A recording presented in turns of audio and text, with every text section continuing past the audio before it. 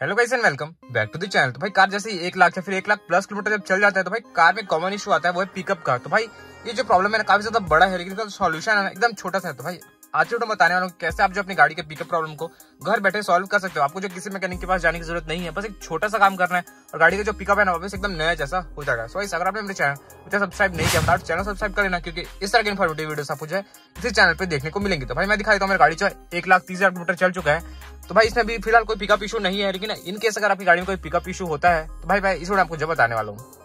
तो भाई कार में पिकअप प्रॉब्लम का जो रीजन होता है ना, एकदम छोटा सा होता है, बस दो से चार चीज़ आपको चेक करना है और गाड़ी की जो पिकअप है ना हंड्रेड परसेंट वापस आ जाएगा। आपको जो किसी भी मैकेनिक को दिखाने की ज़रूरत नहीं है। तो भाई, सबसे पहले ना आपको अपनी गाड़ी का एयर फ़िल्टर चेक करना है, क्योंकि भाई, होता क्या है, सबसे पहले ना छोटे छोटे चीज़ों से लेकर स्टार्ट करेंगे और तब जाके जो है आगे चीज़ों पर पहुँचेंगे। सबसे पहले आपको जो पिकअप प्रॉब्लम का सोल्यूशन वो है एयर फ़िल्टर क्लीन करना है। तो भाई, हर किसी गाड़ी के बोनट के अंदर आपको जो है एयर फ़िल्टर बॉक्स देखने को मिलेगा। भाई, आपको जो है सबसे पहले अपनी गाड़ी का एयर फ़िल्टर चेक करना है क्यों भाई होता क्या है। अगर गाड़ी का एयर फ़िल्टर एकदम चोक हो जाता है तो क्या होता है? गाड़ी जो है प्रॉपर एयर नहीं ले पाता, जिसके कारण क्या होता है अंदर एयर और फ्यूल का मिक्सचर नहीं बर्न नहीं होता, जिसके कारण गाड़ी का जो पिकअप भी कम हो जाता है और माइलेज भी कम हो जाता है। तो भाई, अगर आप एयर फ़िल्टर सबसे पहले खोल के देखना, फिर गाड़ी को चला के देखना, अगर एयर फ़िल्टर क्लीन करने के बाद भी कोई रिस्पॉन्स नहीं आया तो भाई सेकंड चीज़ है ना, वो अपनी गाड़ी का मास एयर फ्लो सेंसर तो भाई, आप ये सेंसर देख रहे हो ना, अपनी गाड़ी के एयर फ़िल्टर बॉडी में ही ये सेंसर लगा हुआ होता है।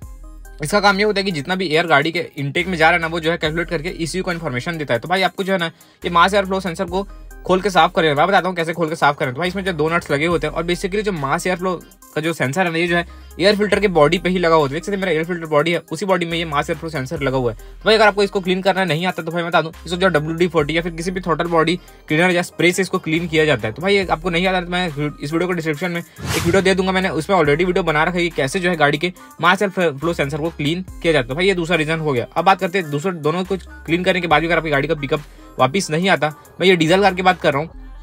अगर आपके पास पेट्रोल कार है भाई तो तीन चीज़ आपको क्लीन करना है। सबसे पहले आपको जो एयर फ़िल्टर फिर मास एयर फ्लो सेंसर उसके बाद जो तीसरा चीज़ है वो अपनी गाड़ी का स्पार्क प्लग तीनों चीज़ को साफ़ करोगे, आपकी गाड़ी का जो पिकअप वापस आ जाएगा। पेट्रोल गाड़ी की बात करूँ, अब बात करते हैं डीजल गाड़ी की। तो भाई डीजल गाड़ी में ना, आपको जो है, अगर आपने एयर फ़िल्टर भी क्लीन कर लिया मास एयर फ्लो सेंसर भी क्लीन कर लिया तो भाई तीसरा चीज़ क्लीन करने का है ना, वो अपनी गाड़ी का डीजल फ़िल्टर क्योंकि भाई होता है क्या, बहुत टाइम पे क्या होता है, बहुत लोग ना डीजल फ़िल्टर को जो है टाइम टाइम से रिप्लेस नहीं कराते डिले कर देते। जिसके कारण क्या होता है, अगर डीजल फ़िल्टर पूरा चौक हो गया तो क्या होगा?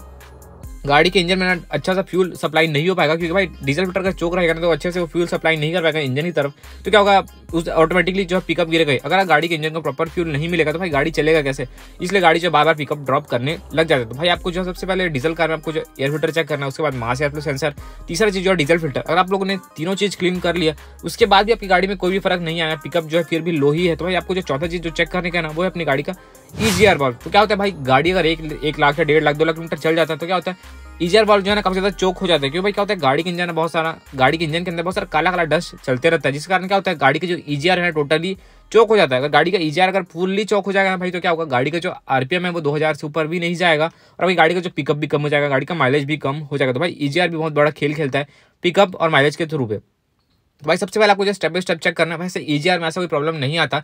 मेजर प्रॉब्लम जो आता है ना डीजल कार में वो गाड़ी का एयर फ़िल्टर चोक हो जाता है तो होता है ऐसा। या फिर मास एयर फ्लो अगर सेंसर अगर गंदा है तो भी ये प्रॉब्लम आता है। और आपके अगर आपकी गाड़ी का डीजल फ़िल्टर चोक है तो भी ऐसा प्रॉब्लम देखने को मिलता है। एकदम लास्ट केस ऐसा होता है कि आपको अपनी गाड़ी का ईजीआर खुलवाना पड़े, उसको क्लीन कराना पड़े। बस यही सब स्टेप को फॉलो करना, गाड़ी का जो पिकअप वापस